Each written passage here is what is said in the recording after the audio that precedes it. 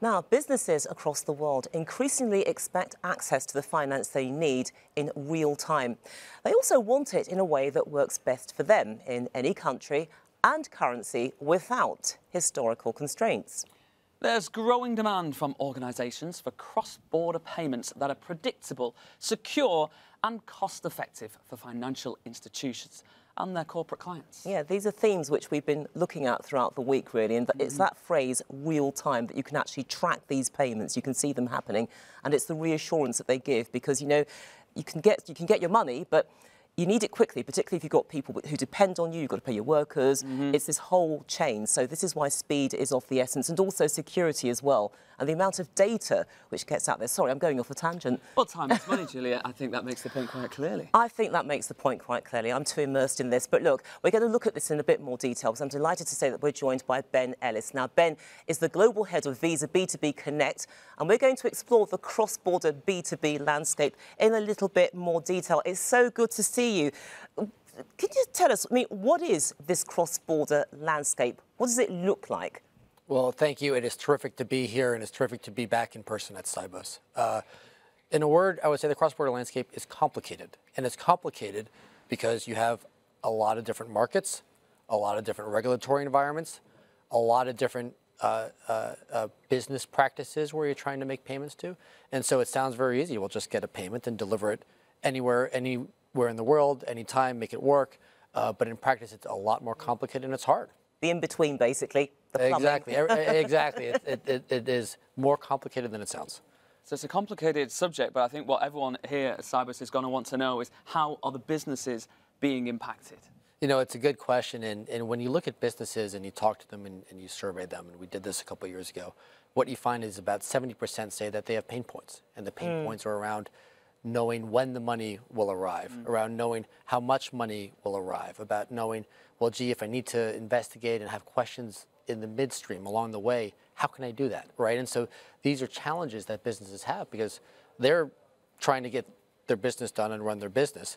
They just want the payment to happen and, and go through. Absolutely, because they've got supply chains, and these supply chains they have to be satisfied. But that's from the business perspective. What about consumers? I think consumers have uh, similar challenges as well too. Although in many regards, I think consumer uh, cross-border payments, international payments, they, they have complexities, but they have different complexities for the business, right? In in a business, if if I'm invoiced a certain amount of funds, those are the funds that I need to pay to my supplier, right? If I'm sending a remittance to a family member, yeah, you want the money to go through, but if it's off by a penny or two, it might not. It's not the same level of urgency in many ways. That's right. That's exactly right. And at a high level, Ben, what's the opportunity here for Visa? Well, I think it's a terrific opportunity for Visa because if you take a look at what we've done and been doing for decades, we've been building robust technology, we've been building a multilateral network at scale, banks grade uh, uh, uh, quality, and really, really making it you know, a, a terrific way to pay and get paid.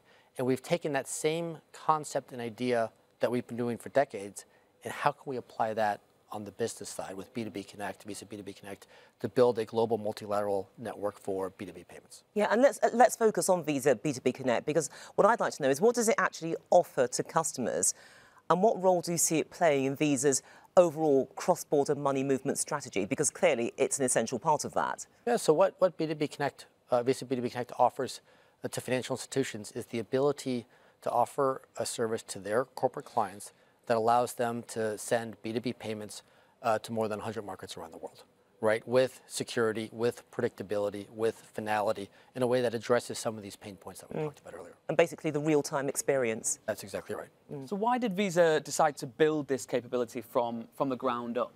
Uh, we built it from the ground up because when we looked at what was out there and what were the options, we realized that we thought we could uh, do it in a way that would provide a better offering uh, for financial institutions and their clients in a way that complements existing offerings very, very well. Now it's a young entity because it started in 2019. It's almost as young as me. But what sort of adoption and use cases have you seen since then, and what comes next? Uh, we've seen uh, terrific adoption and use cases. We're, we're pleased uh, with uh, both the market reception from uh, the banks that we've talked to, with the, the use uh, of the network, uh, with the banks that have signed on and enrolled, and, and with a lot of the discussions that we've had uh, here at Sibos. Ben, it's been lovely to open our Sibos 2022 final day with you. Thank you so much for your time here in the studio. That's Ben Ellis, Global Head of Visa B2B Connect. Thanks once again and enjoy the rest of the day. Terrific. Thank you so much for having me here. Thank you so much for accepting the invitation.